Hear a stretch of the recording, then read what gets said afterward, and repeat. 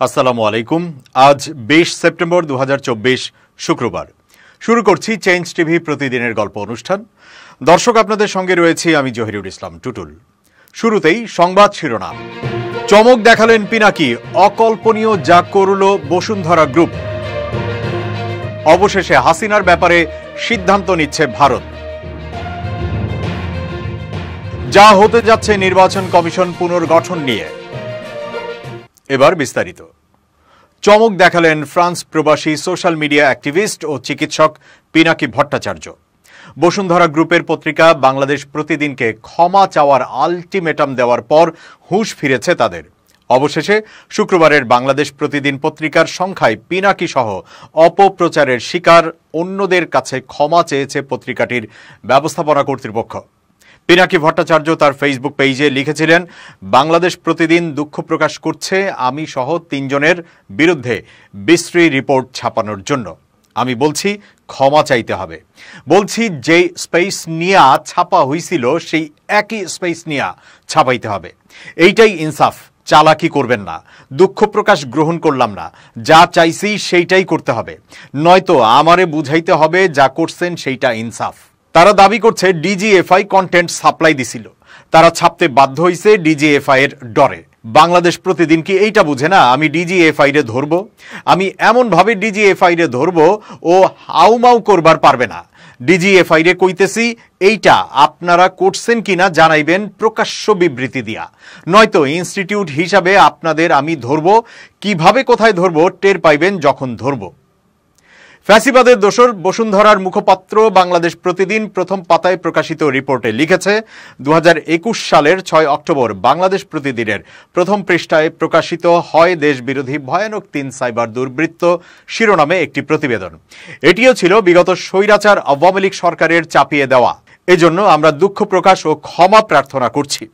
পিনাকি সম্পর্কে বসুন্ধরার পত্রিকাটি আরও লিখেছে পেশায় চিকিৎসক। ফ্রান্সে অবস্থান করা মানবাধিকার কর্মী পিনাকি ভট্টাচার্য। তার তীক্ষ্ণ ও ক্ষুরধার বক্তব্যের কারণে সাধারণ মানুষের মধ্যে তিনি তুমুল জনপ্রিয়। তার লাখ লাখ অনুসারী রয়েছেন। পিনাকি ভট্টাচার্য বাংলাদেশের মুক্তিকামী মানুষের পক্ষে দৃঢ় অবস্থান নিয়ে একের পর এক ভিডিও বক্তব্য হাজির করেছেন জনগণের সামনে। সরকারের নানা অপকর্মের তীব্র সমালোচনা করেছেন। প্রবাসে থাকলেও দেশের গণতন্ত্রকামী মানুষের পক্ষে দৃঢ় অবস্থান নিয়ে সব সময় সরব ছিলেন। তার ভিডিও বক্তব্যে আওয়ামী লীগ সরকারের নানা অপকর্মের তীব্র সমালোচনা থাকত, যা শেখ হাসিনার স্বৈর শাসন অবসানে গুরুত্বপূর্ণ ভূমিকা রাখে। বাংলাদেশ প্রতিদিনের ক্ষমা প্রার্থনার ভাষাটি ছিল এরকম। আওয়ামী লীগের ষোলো বছরের শাসনামলে ক্ষমতাসীন সরকার ও সরকারি দলের প্রত্যক্ষ ও পরোক্ষ চাপের মধ্যে গণমাধ্যমকে কাজ করতে হয়েছে। সাংবাদিকতা অথবা সম্পাদকীয় নীতিমালার পরিপন্থী অনেক খবরই সে সময়ে অনিচ্ছা সত্ত্বেও প্রকাশ করতে বাধ্য হয়েছে বাংলাদেশ প্রতিদিন। দু হাজার একুশ সালের ছয় অক্টোবর বাংলাদেশ প্রতিদিনের প্রথম পৃষ্ঠায় প্রকাশিত দেশবিরোধী ভয়ানক তিন সাইবার দুর্বৃত্ত শিরোনামের প্রতিবেদনটিও ছিল বিগত স্বৈরাচার আওয়ামী লীগ সরকারের চাপিয়ে দেওয়া। এই প্রতিবেদনের সঙ্গে স্বৈরাচার বিরোধী আন্দোলনের অন্যতম তিন অনলাইন অ্যাক্টিভিস্ট পিনাকি ভট্টাচার্য, আবু রেজা আহমেদ ফয়সল চৌধুরী সুয়েব এবং তাজ হাসপির ছবি মুদ্রিত হয়। তৎকালীন সরকারের অন্যায় চাপ ও হুমকির কারণে বাংলাদেশ প্রতিদিন এই সচিত্র প্রতিবেদন প্রকাশ করতে বাধ্য হয়েছিল। তখন চাপের মুখে আমরা ছিলাম অসহায়। প্রতিবেদনটি এরই মধ্যে বাংলাদেশ প্রতিদিনের অনলাইন থেকে প্রত্যাহার করা হয়েছে। এ ধরনের প্রতিবেদন প্রকাশের জন্য সংশ্লিষ্টদের কাছে দুঃখ প্রকাশ করে আমরা আন্তরিকভাবে ক্ষমা প্রার্থনা করছি। সংবাদটি প্রকাশের দায় আমাদের, কিন্তু তখনকার বাস্তবতা ছিল ভিন্ন। আমরা মনে করি, বিশিষ্ট অনলাইন অ্যাক্টিভিস্ট পিনাকি ভট্টাচার্য সহ আরও অনেকে মুক্ত মতের চর্চা করে দেশে বাক স্বাধীনতা প্রতিষ্ঠার লড়াইয়ে অগ্রণী ভূমিকা পালন করেছেন। তাদের এই অব্যাহত সক্রিয়তা দেশে গণতন্ত্র, মুক্ত চিন্তা ও সংবাদ মাধ্যমের স্বাধীনতা অক্ষুণ্ণ রাখতে সহায়ক হবে। আমরা আমাদের পাঠকের কাছে ভবিষ্যতে কোনো চাপ বা ভীতির কাছে মাথা নত না করে সাংবাদিকতার মহান আদর্শ ঊর্ধ্বে তুলে ধরার প্রতিশ্রুতি দিচ্ছি। নেটিজেনদের অনেকে বলছেন সাইবার পুলিশিং এর ক্ষেত্রে অনন্য উদাহরণ তৈরি করলেন পিনাকি ভট্টাচার্য। ষোলো বছর ধরে ফ্যাসিবাদী সরকারের পদলেহনকারী অপসাংবাদিক নঈম নিজামদের অহংকার চূর্ণ হয়ে গেছে। এখন জনগণের কাছে মাথা নত করতে বাধ্য হয়েছে বসুন্ধরা গ্রুপ এবং তার পত্রিকা বাংলাদেশ প্রতিদিন। গণ অভ্যুত্থানের পর এটিও একটি অভূতপূর্ব ঘটনা বলে মনে করছেন নেটিজেনরা। ছাত্র জনতার গণ অভ্যুত্থানের মুখে সাবেক প্রধানমন্ত্রী শেখ হাসিনা পালিয়ে ভারতে আশ্রয় নিয়েছেন। নিয়ম অনুযায়ী শেখ হাসিনা ভারতে বৈধভাবে পঁয়তাল্লিশ দিন আশ্রয় থাকতে পারবেন। তবে সেই পঁয়তাল্লিশ দিন শেষ হল শুক্রবার। এরপর তিনি সেখানে কি হিসেবে অবস্থান করবেন তা নিয়ে নানা প্রশ্ন উঠেছে। সাবেক প্রধানমন্ত্রী শেখ হাসিনা কূটনৈতিক পাসপোর্টের আওতায় ভারতে ৪৫ দিন অবস্থান করতে পারবেন। অবশ্য তার সেই পাসপোর্ট ইতোমধ্যেই বাতিলও করা হয়েছে। এখন শেখ হাসিনার সামনে তিনটি পথ খোলা রয়েছে। প্রথমত, তিনি ভারতে উদ্বাস্তু হিসেবে আশ্রয় পেতে পারেন। দ্বিতীয়ত, বিশেষ রাজনৈতিক আশ্রয় পেতে পারেন। আর তৃতীয়ত, তিনি তৃতীয় কোনো দেশে আশ্রয় পেতে পারেন। সূত্র জানায়, শেখ হাসিনার সঙ্গে ভারতের প্রধানমন্ত্রী নরেন্দ্র মোদীর সুসম্পর্ক রয়েছে। এছাড়া শেখ হাসিনাকে আশ্রয় দেওয়ার জন্য ইতোমধ্যেই ভারতের সব রাজনৈতিক দল একমত হয়েছে। সে কারণে ভারত শেখ হাসিনাকে বিশেষ বিবেচনায় রাজনৈতিক আশ্রয় দিতে পারে। আর সেটা হবে তিব্বতের ধর্মগুরু দালাই লামার মতোই। তিব্বতে বৌদ্ধদের আধ্যাত্মিক ধর্মগুরু উনিশশো উনষাট সাল থেকে ভারতে আশ্রয়ে রয়েছেন। ভারতের ইতিহাসে কোনো বিদেশি ধর্মীয় নেতাকে বিশেষ রাজনৈতিক আশ্রয় দেওয়ার ঘটনা ছিল সেটি প্রথম। তারপর থেকে পঁয়ষট্টি বছরেরও বেশি সময় ধরে ভারতেই আশ্রয়ে রয়েছেন দালাই লামা। এবার প্রতিবেশী দেশ হিসেবে শেখ হাসিনাও ভারতে দালাই লামার মতোই আশ্রয় পেতে যাচ্ছেন। ভারতের প্রতিবেশী দেশের রাজনীতিবিদদের আশ্রয় দেওয়ার অতীত ইতিহাসও রয়েছে। শেখ হাসিনা উনিশশো পঁচাত্তর সালের পর ভারতেই আশ্রয়ে ছিলেন। সে সময় দীর্ঘ ছয় বছর তিনি সেখানে থেকেছেন। উনিশশো বিরানব্বই সালে আফগানিস্তানের প্রেসিডেন্ট মোহাম্মদ নজিবুল্লাহর পরিবারকে আশ্রয় দিয়েছিল ভারত।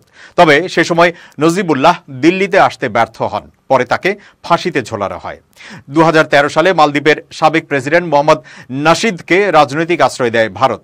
এছাড়া উনিশশো সালে নেপালের মহারাজা ত্রিভুবন বীর বিক্রম শাহকেও আশ্রয় দিয়েছিল দেশটি। ভারতে শেখ হাসিনা কি স্ট্যাটাসে অবস্থান করছেন সেটা এখনও অজানা। এ বিষয়ে ভারতের পক্ষ থেকে এখনও কোনো তথ্য প্রকাশ করা হয়নি। অবশ্য এ বিষয়ে বাংলাদেশের পক্ষ থেকেও আনুষ্ঠানিকভাবে কোনো তথ্য চাওয়া হয়নি। শেখ হাসিনাকে বাংলাদেশে ফেরত পাঠানো হবে কিনা সে বিষয়ে ভারতের পররাষ্ট্রমন্ত্রী ডক্টর এস জয়শঙ্কর সরাসরি কোনো উত্তর না দিয়ে জানিয়েছেন, বাংলাদেশের সঙ্গে আমাদের ব্যবসা বাণিজ্যের সম্পর্ক রয়েছে। দুই দেশের মানুষের মধ্যে ঘনিষ্ঠ যোগাযোগও রয়েছে। আমরা কূটনৈতিক চ্যানেলেই সম্পর্কটা রাখতে চাই। শেখ হাসিনার ভারতে অবস্থানের ৪৫ দিন পূর্ণ হয়েছে। তাকে ফেরত আনার বিষয়ে জানতে চাইলে পররাষ্ট্র উপদেষ্টা তৌহিদ হোসেন বলেছেন সব কিছুই আইন দিয়ে চলে না। ভারত সরকার তাকে আশ্রয় দিয়েছেন, তিনি সেখানেই আছেন। আমাদের সেভাবেই দেখতে হবে। ভারতে শেখ হাসিনার স্ট্যাটাসও জানা নেই বলে জানিয়েছেন তিনি। এদিকে সাবেক এই প্রধানমন্ত্রীকে ফেরত আনার বিষয়ে আইন উপদেষ্টা আসিফ নজরুল জানিয়েছেন, আমাদের সঙ্গে ভারতের প্রত্যর্পণ চুক্তি রয়েছে। সেই অনুযায়ী ভারতে যদি আমাদের কোনো দোষী মানুষ থাকেন, উনি সাবেক প্রধানমন্ত্রী হন আর যাই হন না কেন, ওনার প্রত্যর্পণ আমরা চাইতে পারি। শেখ হাসিনার বিচার প্রক্রিয়া শুরু হলে তাকে ফেরত চাওয়া হবে বলেও জানান তিনি। ছাত্র জনতার অভ্যুত্থানে গত পাঁচ আগস্ট প্রধানমন্ত্রীর পদ থেকে পদত্যাগ করে দেশ ছেড়ে ভারতে আশ্রয় নেন শেখ হাসিনা। তারপর থেকে তিনি দিল্লিতেই অবস্থান করছেন। আওয়ামী লীগ সরকারের আমলে নিয়োগ পাওয়া প্রধান নির্বাচন কমিশনার ও নির্বাচন কমিশনাররা। পদত্যাগ করায় নির্বাচন কমিশনে এই মুহূর্তে এসব পদ শূন্য রয়েছে। নতুন কমিশন গঠনের আগে বিদ্যমান আইন সহ অন্যান্য বিষয়ে আমূল সংস্কার আনা হবে। এ বিষয়ে দ্রুত কাজ শুরু করবে নির্বাচন ব্যবস্থা সংস্কারে অন্তর্বর্তী সরকারের গঠিত কমিশন। সংস্কার প্রস্তাব নিয়ে রাজনৈতিক দলগুলোর পাশাপাশি সংশ্লিষ্ট সবার মতামত নেওয়া হবে বলে জানিয়েছেন ওই কমিশনের প্রধান ডক্টর বদিউল আলম মজুমদার। সংশ্লিষ্ট ব্যক্তিদের মতে, বিগত তিনটি সাধারণ নির্বাচনের মধ্য দিয়ে দেশের নির্বাচন ব্যবস্থার উপর থেকে মানুষের আস্থা উঠে গেছে। আওয়ামী লীগ সরকারের আমলে অনুষ্ঠিত ওই তিন জাতীয় সংসদ নির্বাচন আয়োজনে ছিল রকিব, হুদা ও আউয়াল কমিশন। সর্বশেষ দু হাজার চব্বিশ সালের জানুয়ারিতে অনুষ্ঠিত দ্বাদশ জাতীয় সংসদ নির্বাচনে আওয়ামী লীগ ও জাতীয় পার্টি ছাড়া বড় কোনো দল অংশ নেয়নি। ওই নির্বাচনে ভোটার উপস্থিতি একচল্লিশ দশমিক আট শতাংশ থাকলেও নির্বাচনের গ্রহণযোগ্যতা নিয়ে প্রশ্ন তোলে বিভিন্ন মহল। এমন পরিস্থিতিতে গত পাঁচ আগস্ট সাবেক সরকারের প্রধান শেখ হাসিনা দেশ ছাড়ার পর নির্বাচন কমিশনের কর্মকর্তাদের পদত্যাগের দাবি ওঠে। গত পাঁচ সেপ্টেম্বর পদত্যাগ করেন সিইসি কাজী হাবিবুল আওয়াল ও কমিশনাররা। পুরো কমিশন একযোগে পদত্যাগ করায় সাংবিধানিক এই প্রতিষ্ঠানে শূন্যতা সৃষ্টি হয়েছে। তবে এই মুহূর্তে নতুন ইসি গঠন করছে না অন্তর্বর্তী সরকার। সরকার নতুন কমিশন গঠনের আগে প্রয়োজনীয় সংস্কার করতে চায়। গত দশ সেপ্টেম্বর জাতির উদ্দেশ্যে দেওয়া ভাষণে প্রধান উপদেষ্টা ড. মোহাম্মদ ইউনুস বিষয়টি স্পষ্ট করেছেন। তিনি নির্বাচন কমিশন সংস্কারে ড. বদিউল আলম মজুমদারের নেতৃত্বে কমিশন গঠনের কথা জানিয়েছেন। সংশ্লিষ্ট সূত্রগুলো জানায়, ওই কমিশন আগামী এক অক্টোবর থেকে আনুষ্ঠানিকভাবে কাজ শুরু করবে। এর আগে কমিশনের অন্য সদস্যদের অন্তর্ভুক্ত করা হবে। কমিশনের সদস্য হিসেবে সংশ্লিষ্ট বিশেষজ্ঞ, সরকার ও ছাত্রদের প্রতিনিধিরা থাকবেন। এই কমিশন সংশ্লিষ্ট আইন, বিধিবিধান ও অন্য বিষয়গুলো যাচাই বাছাই করে খসড়া প্রস্তাব প্রণয়ন করবে। তারা নির্বাচন ইস্যুতে সক্রিয় সংগঠন, সাবেক নির্বাচন কমিশনার ও বিশেষজ্ঞদের মতামত গ্রহণ করবে। সর্বশেষ খসড়া প্রস্তাব নিয়ে রাজনৈতিক দলের সঙ্গে সংলাপের মাধ্যমে চূড়ান্ত প্রস্তাব প্রণয়ন করা হবে। এই কাজে তিন মাস সময় লাগতে পারে বলে সরকারের পক্ষ থেকে জানানো হয়েছে। তবে নির্ধারিত সময়ে সংস্কার প্রস্তাব প্রণয়ন করা সম্ভব হবে বলে আশা করছেন সরকার গঠিত কমিশনের প্রধান ডক্টর বদিউল আলম মজুমদার। তিনি বলেন, অবাধ, সুষ্ঠু ও গ্রহণযোগ্য নির্বাচনের জন্য আমাদের পুরো নির্বাচন ব্যবস্থা ঢেলে সাজাতে হবে। নির্বাচনী আইনগুলোতে অনেক দুর্বলতা রয়েছে। এসব দুর্বলতা দূর করতে প্রয়োজনীয় সংশোধনী আনতে হবে। নির্বাচন কমিশন গঠনের ক্ষেত্রে বর্তমান ব্যবস্থায় যিনি ক্ষমতায় থাকবেন, তিনি যাকে খুশি তাকে নিয়োগ দিতে পারেন, এটা বন্ধ করতে হবে। আইন নিজের হাতে তুলে নিলে জড়িতদের বিরুদ্ধে কঠোর ব্যবস্থা নেওয়া হবে, জানিয়েছে পুলিশ সদর দফতর। তবে কোনো ব্যক্তি অন্যায় বা অপরাধ করলে জাতীয় জরুরি সেবা ট্রিপল নাইনে অথবা নিকটস্থ থানায় যোগাযোগ করতে বলা হয়েছে। শুক্রবার সকালে পুলিশ সদর দফতরের মিডিয়া বিভাগের পক্ষ থেকে পাঠানো এক খুদে বার্তায় বিষয়টি নিশ্চিত করা হয়েছে। পুলিশ সদর দফতর জানিয়েছে, সম্প্রতি কোথাও কোথাও গণপিটুনি দিয়ে মানুষ হত্যার নৃশংস ঘটনা পরিলক্ষিত হচ্ছে। এই ধরনের মব জাস্টিস কোনোভাবেই কাম্য হতে পারে না। কেউ আইন নিজের হাতে তুলে নিলে তার বিরুদ্ধে কঠোর আইনানুগ ব্যবস্থা গ্রহণে বাংলাদেশ পুলিশ বদ্ধপরিকর। কেউ অন্যায় করলে বা অপরাধী হলে দেশের প্রচলিত আইন অনুযায়ী ওই ব্যক্তির বিচারের বিধান রয়েছে। আইন নিজের হাতে তুলে নেওয়ার অধিকার কারও নেই। কোনো ব্যক্তি অন্যায় বা অপরাধ করলে তাকে আইনের হাতে সোপর্দ করতে হবে। কোনোভাবেই আইন নিজের হাতে তুলে নেওয়া যাবে না। কয়েকদিন ধরেই তীব্র তাপপ্রবাহে পুড়ছে দেশবাসী। অস্বস্তিতে জনজীবন। দেশের সাত বিভাগের ওপর দিয়ে তাপপ্রবাহ বয়ে যাচ্ছে। এমন পরিস্থিতিতে সুসংবাদ দিয়েছে আবহাওয়া অধিদপ্তর। পূর্বাভাসে বলা হয়েছে, আগামী সপ্তাহেই বৃষ্টিপাতের প্রবণতা ফের বাড়তে পারে। এর প্রভাবে চলমান তাপপ্রবাহ প্রশমিত হয়ে জনজীবনের স্বস্তি নামবে বলে আশা করা হচ্ছে। পূর্বাভাসে আরও বলা হয়েছে, রাঙামাটি, ফেনী ও ব্রাহ্মণবাড়িয়া জেলাসহ রংপুর, রাজশাহী, ময়মনসিংহ, ঢাকা, খুলনা, বরিশাল ও সিলেট বিভাগের ওপর দিয়ে মৃদু তাপপ্রবাহ বয়ে যাচ্ছে এবং তা আগামী তিন দিন অব্যাহত থাকতে পারে। চব্বিশ ঘন্টায় খুলনা, বরিশাল, চট্টগ্রাম ও সিলেট বিভাগের কিছু কিছু জায়গায় এবং রংপুর, রাজশাহী, ঢাকা ও ময়মনসিংহ বিভাগের দু এক জায়গায় দমকা হাওয়া সহ বৃষ্টি হতে পারে। এ সময় কোথাও কোথাও ভারী বৃষ্টির সম্ভাবনা রয়েছে। এ সময় দিন ও রাতের তাপমাত্রা প্রায় অপরিবর্তিত থাকতে পারে। এবার খুব জরুরি এক মিনিট। জানাচ্ছেন ইউনেস্কো ক্লাব পুরস্কার বিজয়ী সাংবাদিক আমিরুল মোমিনিন মালিক। খুব জরুরি এক মিনিটে প্রত্যেককে আমন্ত্রণ। প্রিয় বন্ধুরা, আমরা যখন কোনো একটি কাজ করার উদ্যোগ গ্রহণ করি, তখন নানা ধরনের সমালোচনা আমাদের ঘিরে ধরে। যখন সফল হই, তখন অনেকেই হয়তো প্রশংসা করে। তাহলে কাজ করতে গিয়ে যখন নিন্দকরা আমাদের অপবাদ দেবে, নিন্দা করবে, তখন আমরা কী করব। আমরা অনেক সময় প্রেরণা খুঁজে পাই না। বলি যে কেউ তো আমাকে অনুপ্রেরণা দিচ্ছে না।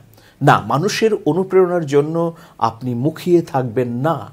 আপনি অনুপ্রেরণা নেবেন ইতিহাস থেকে। আপনি অনুপ্রেরণা নেবেন ইতিহাসের আইকনিক মহাবীরদের কাছ থেকে, ইতিহাসের বাকবদল যারা করেছেন, যারা ব্যর্থতার পাহাড় ডিঙিয়ে সফল হয়েছেন, তাদের কাছ থেকে আপনি অনুপ্রেরণা নিন। এজন্য আপনি এই সংক্রান্ত বই বাছাই করে পড়াশোনা করবেন। সেখান থেকে আপনি আলো পাবেন এবং নিজের কাজে এগিয়ে যাবার আরও দুর্দান্ত মানসিকতা নিজের মধ্যে তৈরি হবে। ভালো থাকবেন সবাই। শুভেচ্ছা নিরন্তর। এবার দেশের বাইরের প্রসঙ্গ।